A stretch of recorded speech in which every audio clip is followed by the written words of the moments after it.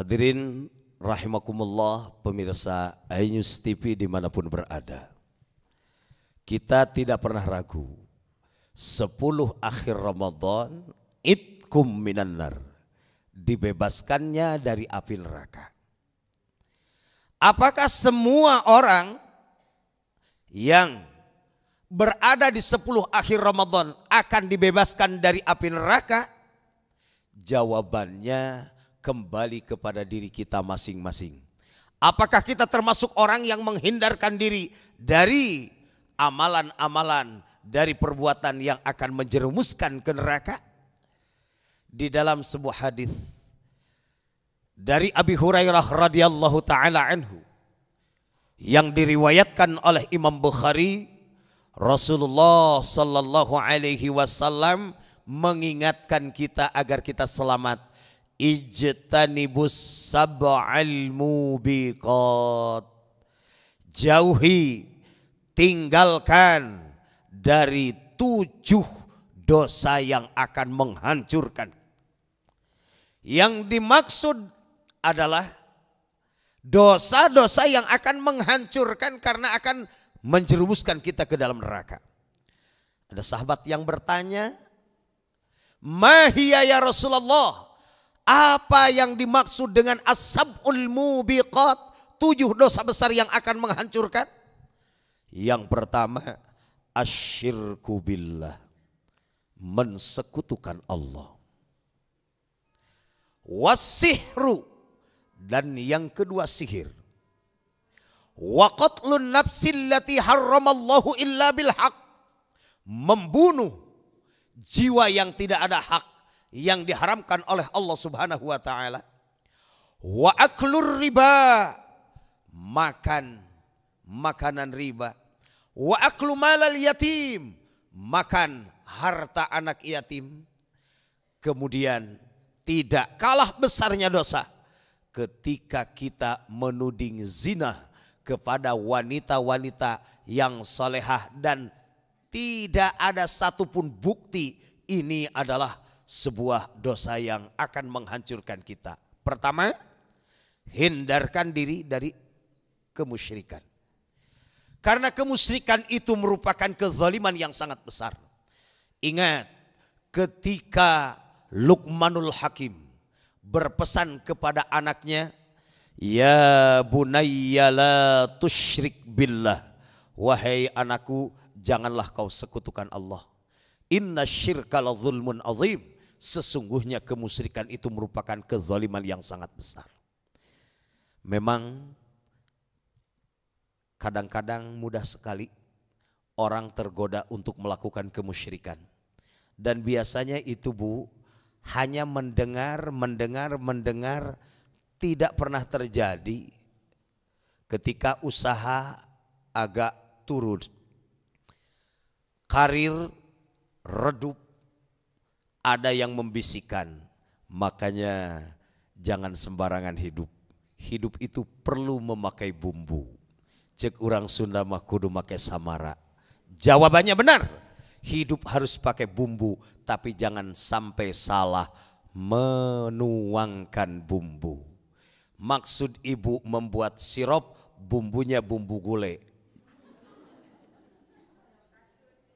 Maksudnya ingin maju usaha, ingin berkah, malah lari ke dukun, bukan berkah, justru kehancuran akan dicabut berkahnya oleh Allah. Kenapa tidak membumbui hidup dengan tahajud? Bukankah di tahajud itu ada jaminan dari Allah? Asa ayyab'athaka rabbuka maqamam mahmuda. Kelak Allah akan menempatkan kalian di tempat mahmuda, tempat yang terpuji.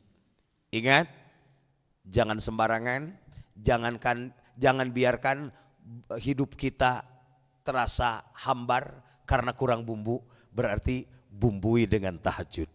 Silahkan semakin kurang rasa perbanyak bangun malamnya. Perbanyak bangun malamnya munajat kepada Allah subhanahu wa ta'ala. Kemudian yang kedua as-sihru. Hati-hati dengan perbuatan sihir.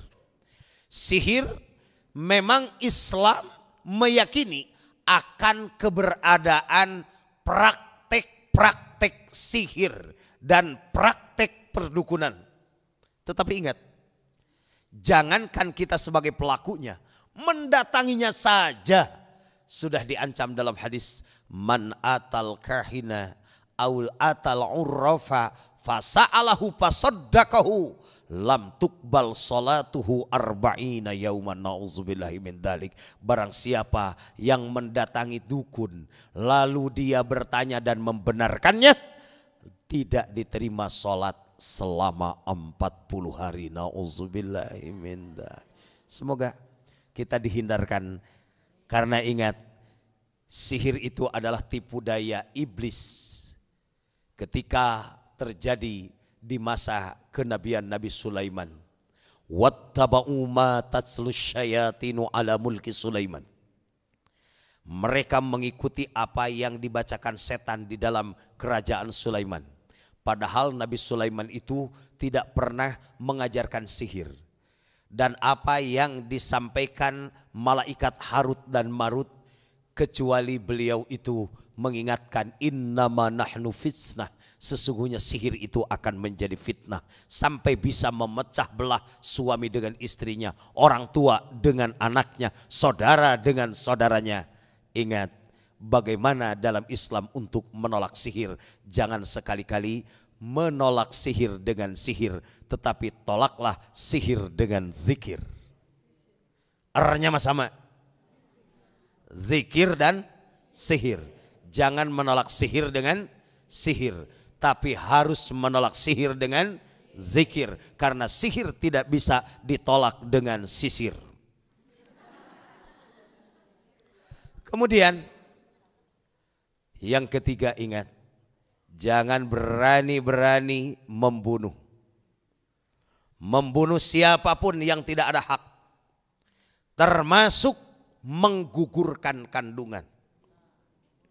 Termasuk menghancurkan embrio yang ada di kandungan ibu karena setiap sel melayak untuk hidup.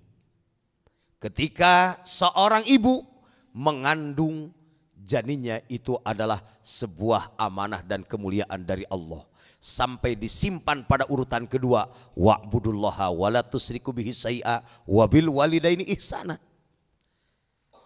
Pengorbanan ibu mengandung anaknya agar senantiasa dipelihara kehidupannya sampai diberi keistimewaan oleh Allah Subhanahu wa taala.